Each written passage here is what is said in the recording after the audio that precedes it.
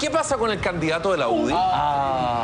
Que va a ser proclamado prontamente en el Consejo Directivo Ampliado de la UDI. este programa. Es importante la experiencia política, dice, para conducir las necesidades de la gente. Ya. Pero no basta.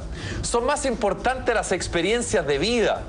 Es desde ahí donde surgen las fuerzas para cambiar las cosas, dice Ese Lawrence arriesgado. candidato presidencial de la.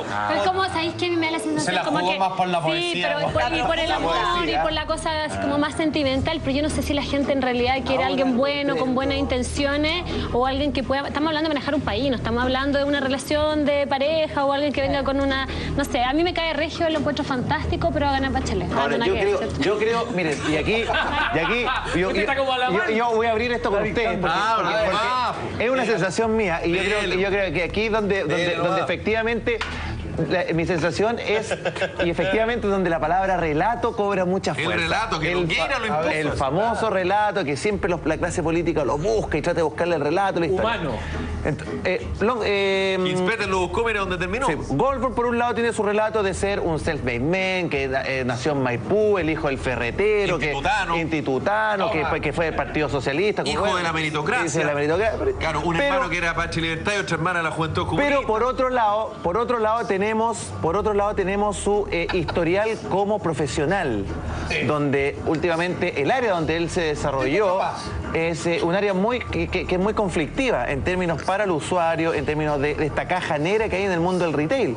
Digamos, o sea, todos sabemos cómo funciona el retail y qué es lo que y qué es lo que pasa y cómo se ha enriquecido el retail. No era atención al cliente, sino que era no es- atención al cliente. Eso no es atención al cliente, sino atenderse al cliente. Claro. Entonces, eso le puede jugar en contra, En algún creo yo. momento, claro, en algún momento cuando se abra la primaria, eh, y tiene razón Gonzalo, y si es que finalmente Lawrence Goldberg gana la primaria, tengan claro que la concertación le va a dar con el moño al hacha, justamente a propósito de ese tema. Porque Lawrence Goldberg ahora lo está poniendo arriba de la mesa como un antecedente positivo. Yo no estoy diciendo con esto que Lawrence Goldberg haya sido un empresario abusador No. y que se haya pasado por el forro a la gente. No estoy diciendo eso. Lo que estoy diciendo es que la gente va a evaluar por ahí también Claro. y la concertación le va a dar por ese lado. Ahora, a mí me llama mucho la atención un punto, ¿ah? y lo hemos hablado acá. ¿Cuántas veces? ¿Cuál es el atributo, la característica que más destaca a la gente de Michelle Bachelet? La su simpatía. cercanía y su simpatía. Gol. ¿Cuántas veces hemos escuchado a la gente de la UDI? Y de RN también, pero en particular de la UDI, porque si no, no me sirve el ejemplo. Diciendo, es que tú no puedes evaluar a Michelle Bachelet por su simpatía, porque lo importante es Los la ejecución, los proyectos, cómo maneja el país. Y resulta que ahora para la UDI es un valor agregado ser simpático, weón. Bueno, pero claro. cuando la simpática es la adversaria, no es bueno. La, la paloma blanca. Entonces, aquí es donde yo insisto en política, empiezan a florecer Sí.